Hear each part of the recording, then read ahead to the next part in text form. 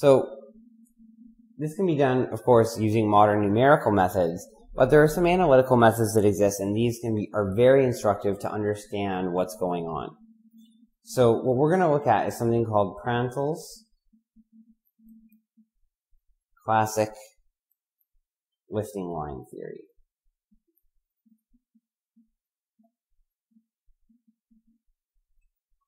The details of how this are developed are in the notes. Here we'll just go high level.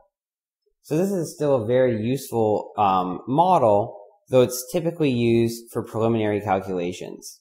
It can be used for arbitrary lift distributions, but here we're going to develop it and then apply it to a special but very useful case, the elliptical wing distribution or lift distribution. So if we think about vortices, there are two kinds. A vortex can be bound, which means it's stuck to a certain location in the flow. For example, a vortex that's attached to a wing, or it can be free, which moves means that it moves along with the same fluid elements. And if we have a bound vortex,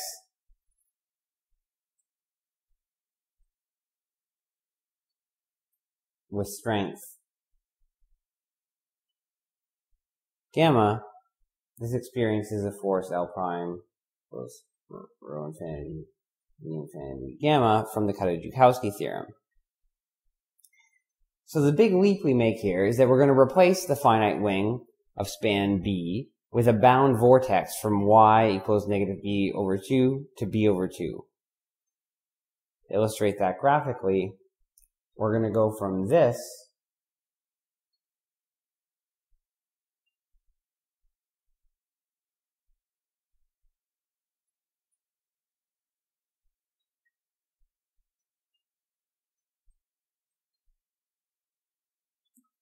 There's the induced drag.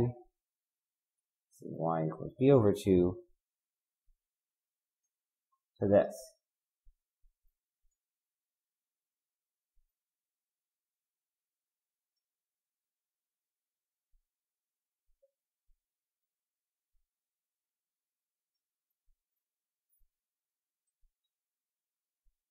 with a bound part of the vortex here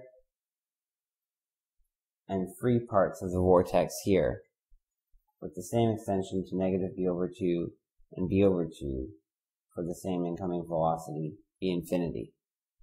So this is going from a finite wing to a model of it using something we call a horseshoe vortex.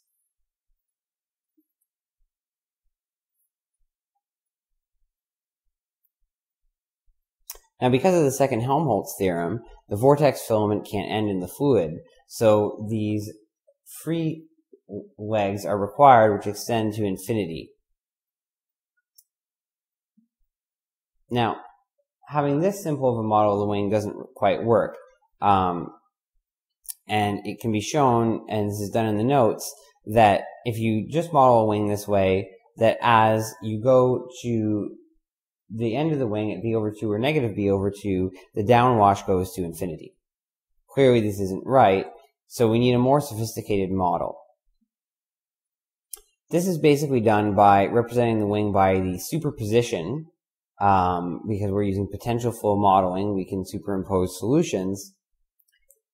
Basically, we want to superimpose a large number of these horseshoe vortices, each with a different bound vortex strength. And so we end up with something like this.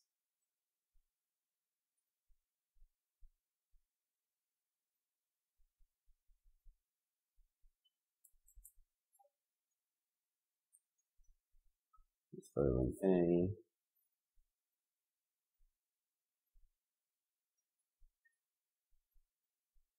And here we have some strength. Here's another strength. Here's another strength.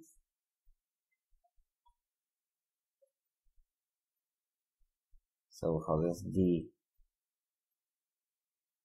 gamma 1, D gamma 2, D gamma 3. Each of those values, this is y equals b over 2, this is y is negative b over 2. And just to illustrate, this is the direction Is gamma 1.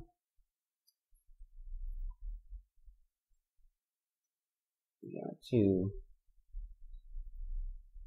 gamma 3, and then these start going the other way, gamma 3,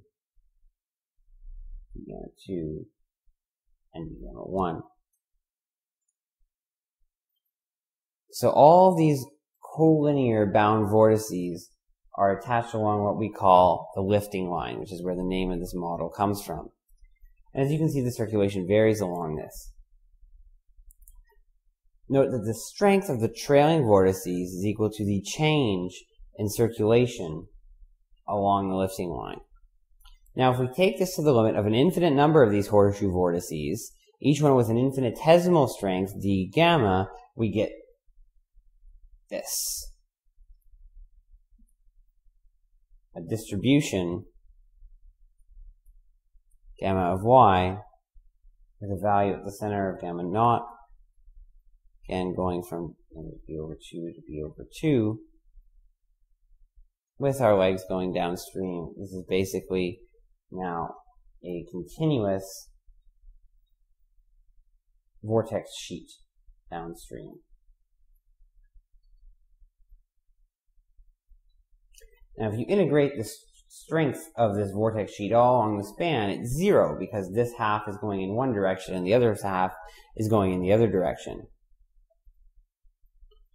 Now we can calculate the contribution from each part of this vortex to the downwash, and I'll, that's done in detail in the notes. But here I'm going to skip to the result, and we'll use the result of thin airfoil theory that the lift slope is 2 pi. So that what we get is that the angle of attack as a function of y naught is gamma of y naught over pi v infinity chord c, which is also a function of y naught, plus alpha L equals 0 of y naught plus 1 over 4 pi v infinity times the integral from negative b over 2 to b over 2 of the gamma dy y naught minus y dy.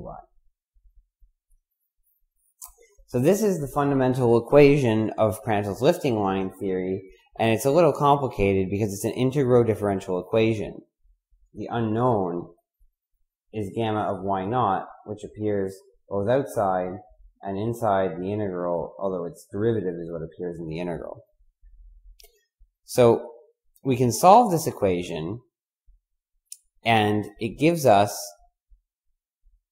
the lift distribution, L prime of y naught, and also can then give us the lift coefficient and the induced drag.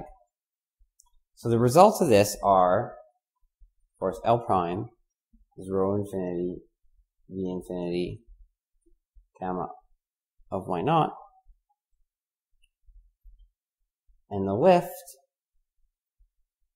is rho infinity, V infinity, the integral from negative b over 2 to b over 2, gamma of y naught dy, and the lift coefficient CL is 2 over v infinity times the area S times the integral from negative b over 2 to b over 2 of gamma of y naught dy.